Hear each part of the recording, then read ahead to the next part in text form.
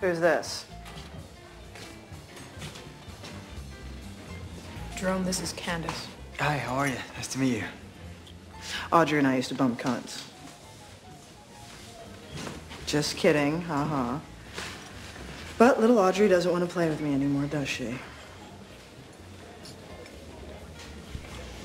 What do you think of these paintings? Um, they're okay. I mean, they're not the most, you know. They're Candace's paintings. I mean, they're really good. Where do you find them, Audrey?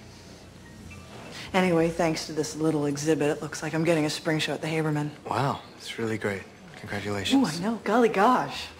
You, get over here. Later, kids. What's this I hear about a show at Haberman? You gotta let me know about this.